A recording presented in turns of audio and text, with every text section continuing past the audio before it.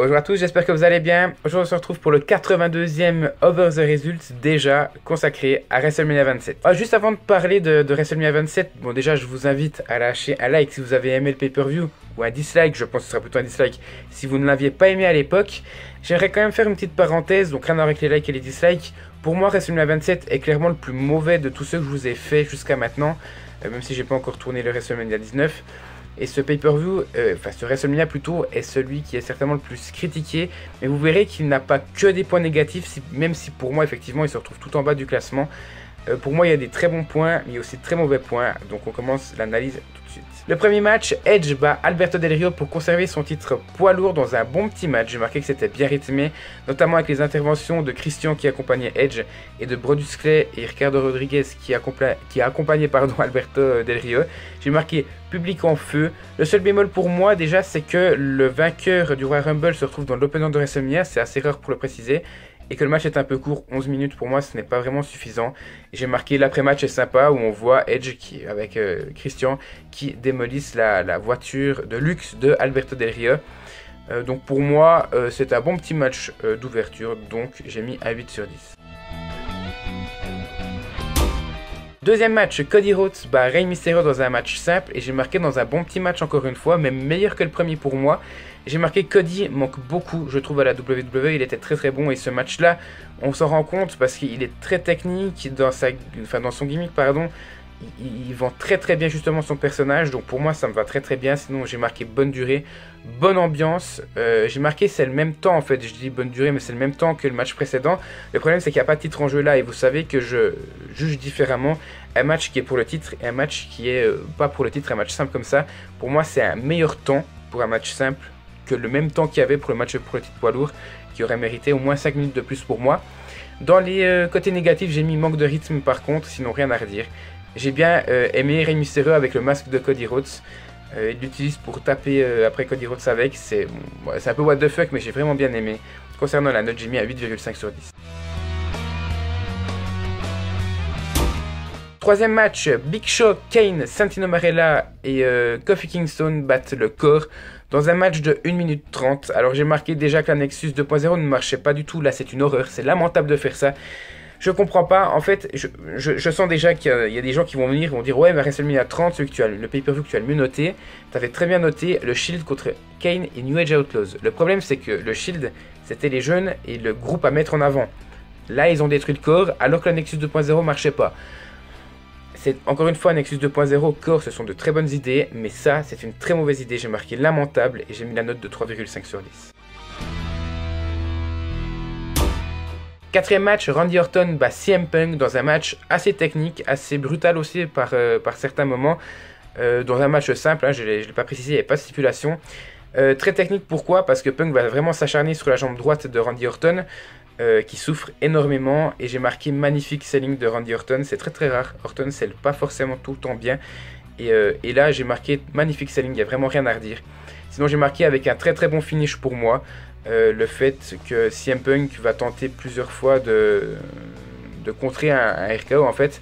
Et au bout du troisième, au bout d'un moment, il va faire un springboard closest line si je me souviens bien. Et Randy Orton va, l'accueillir pardon avec un RKO déjà à l'époque. Euh, au 27, 4 ans avant le magnifique RKO sur, euh, sur Seth Rollins. Il faisait déjà ça pour clôturer ses shows WrestleMania, Randy Orton. Donc, euh, donc c'est plutôt un bon point. Voilà, gros point négatif, j'ai marqué le rythme qui est horrible, d'où mon 0 sur 1. Et la note finale se lève à 7,5 sur 10, qui est quand même un très bon match. Voilà, on va continuer avec le deuxième match horrible de la soirée. Michael Cole bat Jerry Lawler par disqualification dans un match horrible. Alors autant il n'y a aucun rythme, il y a un selling de merde, il n'y a aucune vraie prise en 12 minutes, donc il faut quand même préciser qu'il y a eu 12 minutes pour ce match-là. Et j'ai marqué Stone Cold qui était l'arbitre spécial du match, je dois vraiment se demander ce qu'il fout là.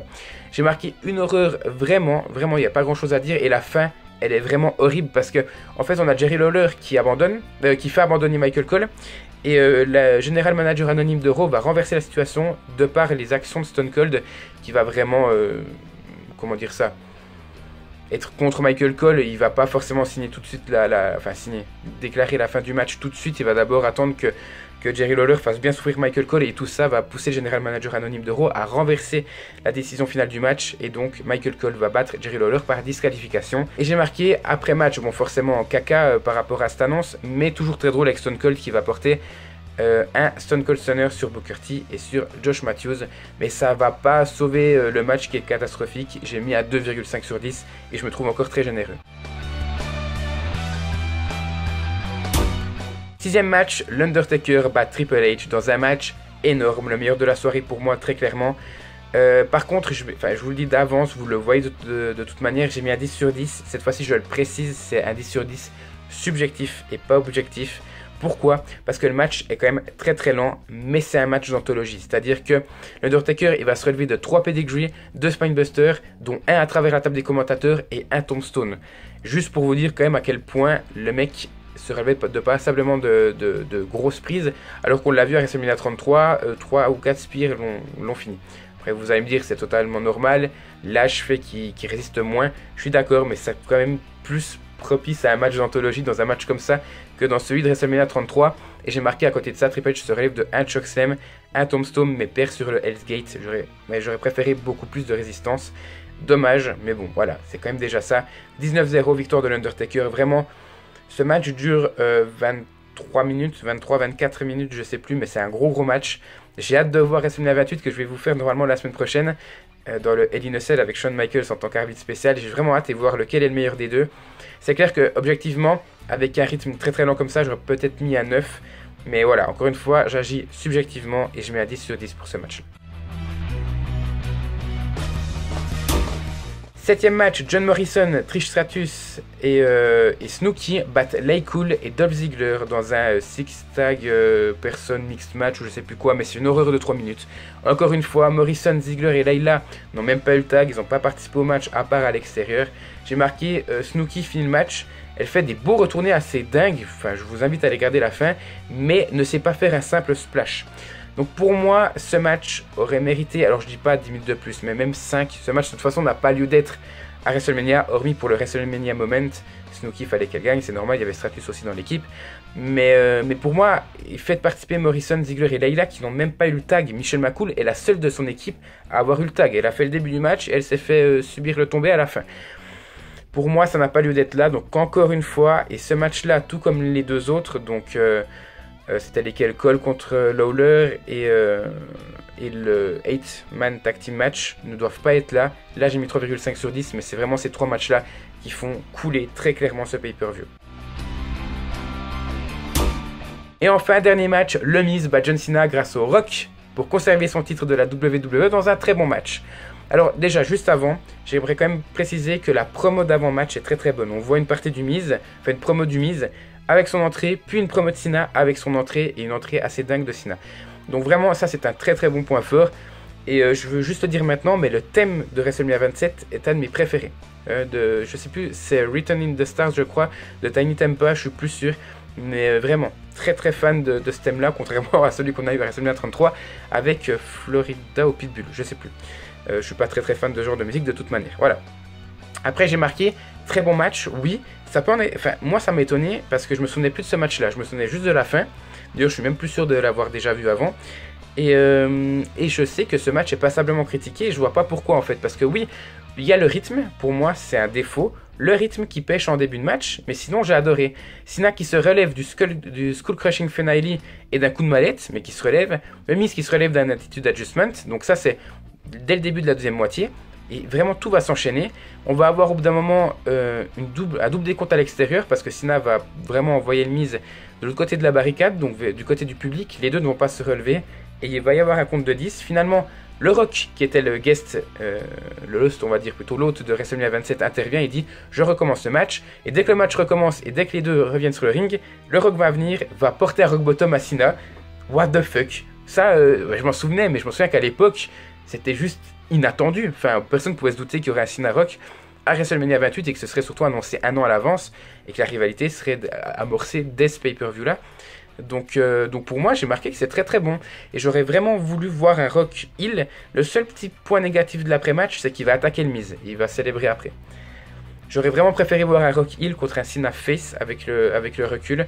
Mais bon, voilà, c'est comme ça, on peut pas avoir tout ce qu'on veut. Mais moi, j'ai trouvé ça très très bon. N'hésitez pas vraiment à me dire ce que vous en pensez dans les commentaires. Mais moi, j'ai aimé ce match-là. Il y a le début qui, peine un peu avec le rythme. Mais sinon, c'est du très très bon. Et c'est pour ça que j'ai mis la, note de 9,5 sur 10. Et je vais même aller jusqu'à un, peu plus loin quand même. Pour moi, cette fin-là, la fin où on voit Rock qui attaque Cena, c'est une des fins les plus marquantes d'un WrestleMania. Alors je sais que beaucoup de personnes n'ont pas aimé encore une fois, mais je, vais retenir bah, WrestleMania 33 avec la fin de Taker, euh, WrestleMania 30 avec euh, Daniel Bryan qui remporte le titre, WrestleMania 31 avec le catch de Rollins, il y a ce WrestleMania 27 aussi qui est très très bon parmi tant d'autres. Hein. Mais par exemple le main event de WrestleMania 23 entre euh, Cena et Michaels, le match est très très bon, mais il n'y a pas vraiment grand chose à la fin. Juste une célébration de Cena. Pareil à WrestleMania 32 avec Reigns qui célèbre, vous voyez, il y a, ce, côté-là, ce côté controverse à WrestleMania 27 qui fait que c'est une de mes fins préférées. Voilà. N'hésitez pas à me dire ce que vous en pensez. Dans tous les cas, euh, alors moi j'ai pas marqué ma note, c'est très très bien, mais je vous l'ai dit, ce pay-per-view à la. Euh, alors laissez-moi voir ce pay-per-view à la 60e, 67e place pardon, sur 79 au moment où je tourne cette vidéo, avec une note finale de 6,63. Donc oui, ce pay-per-view est clairement en dessous, ce pay-per-view est presque mauvais. Il est mauvais pour un WrestleMania, il est presque mauvais pour un pay-per-view simple, je dirais. Mais euh, je trouve qu'on est un peu dur avec ce pay-per-view parce que c'est ces trois matchs qui le font couler. Le, le 8-man tag team match, le, le 6-man tag team match et le call loader. Vous enlevez ces trois-là et le pay-per-view est assez bon. Après, vous allez me dire, oui, c'est trois matchs quand même, donc ça fait beaucoup. C'est vrai. Mais c'est plus là pour des WrestleMania Moments, à part le 8-man tag team match parce que je vois toujours pas l'intérêt aujourd'hui. Mais il y a des WrestleMania Moments qu'il faut un peu euh, contenter, respecter si on veut. Euh, mais je suis d'accord, on enlève ces trois matchs-là et pour moi le pay-per-view est assez bon. Donc euh, c'est vraiment ces trois matchs qui ont fait couler ce pay-per-view-là et c'est très très dommage selon moi. Voilà, bref, cette euh, analyse de pay-per-view est terminée. N'hésitez pas vraiment à me dire ce que vous en pensez dans les commentaires. N'oubliez pas le like ou le dislike si vous avez aimé ou détesté ce pay-per-view-là. Et euh, n'oubliez pas de partager euh, cette vidéo et de vous abonner à la chaîne si, euh, si vous aimez le contenu. N'oubliez pas une analyse par semaine. Et la semaine prochaine, normalement, ce sera WrestleMania 28 pour l'analyse numéro 83. On se rapproche des 100 vraiment. N'hésitez pas à vous abonner. Je pense que c'est impossible. Hein, mais j'aimerais bien avoir les 2000 abonnés pour les 100. pour la centième analyse, ce serait vraiment trop beau. Mais je crois que je rêve un peu. Bref, merci encore une fois à vous d'avoir suivi cette vidéo. Et à tout bientôt pour la suite de la chaîne.